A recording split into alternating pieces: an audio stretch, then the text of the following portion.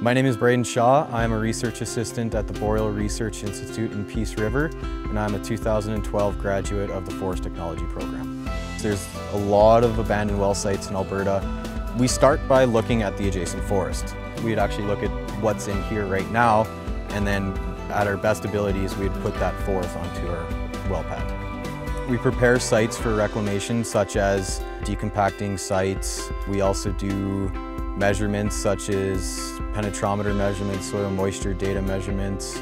We also do tree increment growth, so we know how, how much the trees are growing each and every year. We plant. I chose the career because I'm outside all day, every day, and I get to be in an area that I love.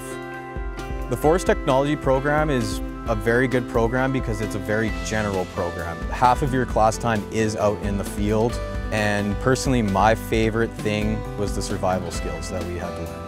It surprised me when I first came into the program of just how many job opportunities there are out there and how many specific fields. can range from being a forest officer for the government in Alberta to being right on the ground being a logger.